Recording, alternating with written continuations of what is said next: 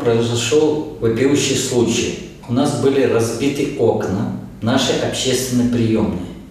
Неоднократно поступали угрозы в наш адрес. Наверное, хотели вбить клин между отношениями ЛДПР и нынешнего руководства.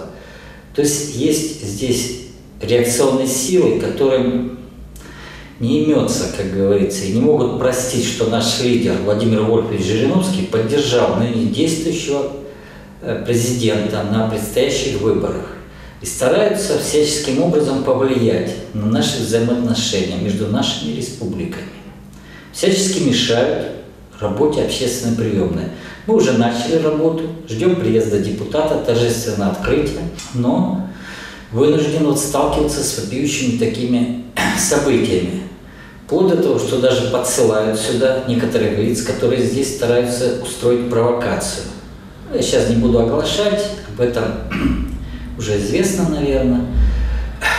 Таким образом стараются запугать ЛДПР. Но ЛДПР уже существует более 25 лет. Российская Федерация – это самая старейшая партия. И мы не позволим никому так с нами поступать. Мы здесь давно, в этой республике, и надолго. А скажите, от кого поступают угрозы и какого характера угрозы?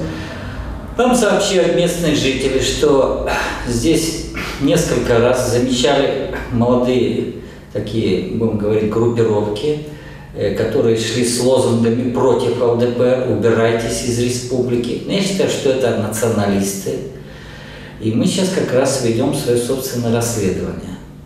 Вы обращались э, в органы? Да, сегодня утром мы обратились в органы правоохранительные, после чего ими была сделана здесь, будем так сказать, э, ну, проверка, составлены протоколы, заявления и так далее.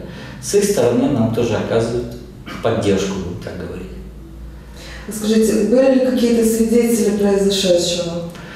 Да, были свидетели, это жители дома напротив, которые сообщили органам власти, что где-то час 30, час 40 были слышны здесь шум машины и разбившиеся наши стекла.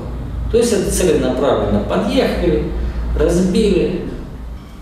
Ну, я думаю, что это хотят запугать нас и вбить клин наши отношения с нынешней властью. Вот. Стараются препятствовать сближению Приднестровья с Россией. Вот э, как бы вы обратились к тем людям, которые хотят препятствовать э, вашей деятельности?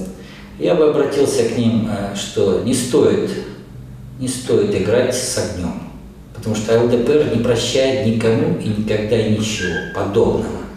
Знаете, кто к нам с мечом придет, тот от меча и погибнет. Как говорил Александр Невский. Мы не пугаем, но предупреждаем. Не надо играть с огнем.